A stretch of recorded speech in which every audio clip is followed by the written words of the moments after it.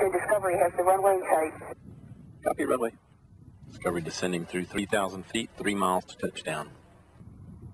1,000 feet. Landing gear is down and locked.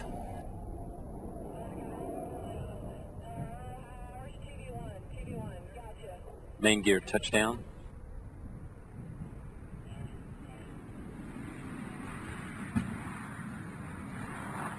Drag chute deploy.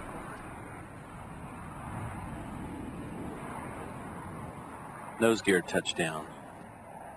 And Discovery is home. Return to flight mission STS-114 culminates at NASA's Dryden Flight Research Center at Edwards Air Force Base in California. Discovery's landing initiates a complex series of activities. The orbiter is recovered by a convoy of over 20 specialized vehicles. A variety of specialists assist the astronauts with systems shutdown, egress, and medical assessments.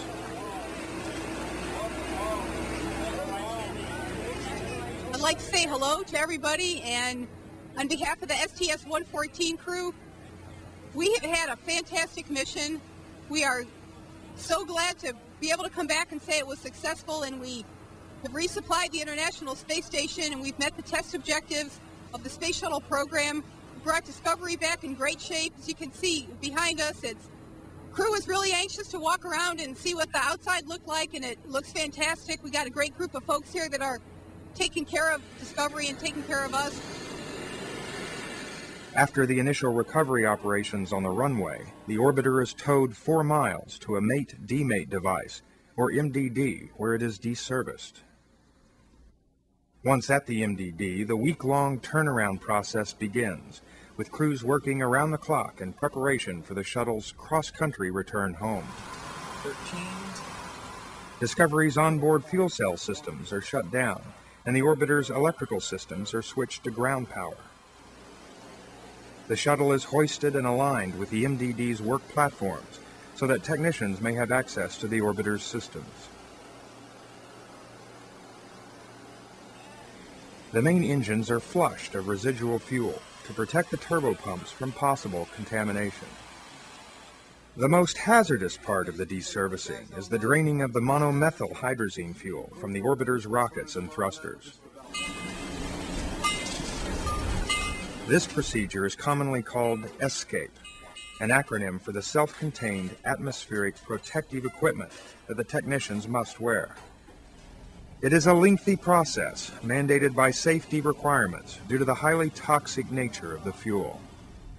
Once SCAPE is complete, the aft engine area is prepared for installation of the aerodynamic tail cone. This 10,000 pound fairing is mounted over the main engine nozzles to help reduce drag during the ferry flight.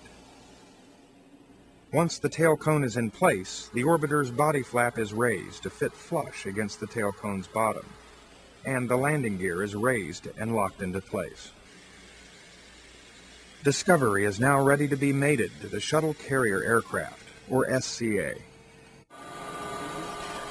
The orbiter is lifted some 60 feet into the air by the MDD's sling. The SCA, a modified 747, is then towed to the MDD and carefully positioned underneath.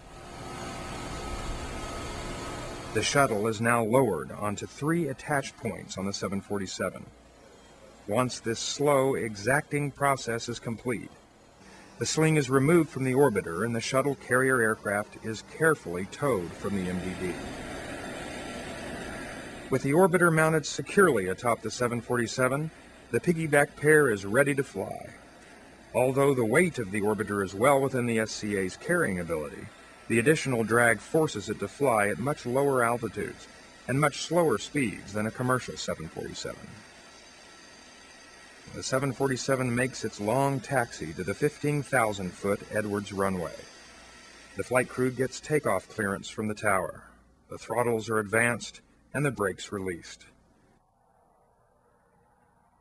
After an extended takeoff, the SCA is airborne, and the duo climb into the desert sky.